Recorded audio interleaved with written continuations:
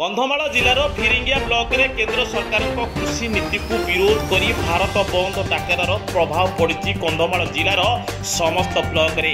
ଆମ ସହିତ ଆଜି ଅଛନ୍ତି ପ୍ରଦେଶ କଂଗ୍ରେସ କମିଟିର ପୂର୍ବତନ ସମ୍ପାଦକ କୈଳାସ ମୁଖ୍ୟ ତାଙ୍କ ସହିତ କୃଷି ନୀତି ଉପରେ ଆଲୋଚନା କରିଥିଲେ ଆମ ପ୍ରତିନିଧି ରାଜକିଶୋର ପ୍ରଧାନ।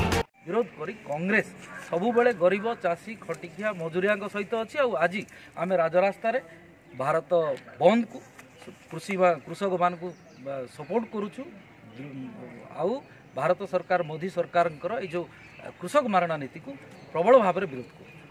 କନ୍ଧମାଳ ଜିଲ୍ଲାରୁ ସଞ୍ଜୟ କୁମାର ସାହୁଙ୍କ ରିପୋର୍ଟ ସାଇ ସତ୍ୟ ନ୍ୟୁଜ୍। ଉନ୍ନତ ଓଡ଼ିଶାର ଉନ୍ମୁକ୍ତ ଦ୍ୱାର ସତ୍ୟର ପରିଭାଷା ନ୍ୟାୟର ସ୍ୱର। ଉନ୍ନତ ଓଡ଼ିଶାର ଉନ୍ମୁକ୍ତ ଦ୍ୱାର ଏ ଉନ୍ନତିର ସ୍ୱର ଏ ଉନ୍ନତିର ସ୍ୱର ଏ ଉନ୍ନତିର ସ୍ୱର। साई सत्य न्यूज साई सत्य न्यूज साई सत्य न्यूज। साई सत्य न्यूज साई सत्य न्यूज साई सत्य न्यूज। सकल शक्ति र आधार।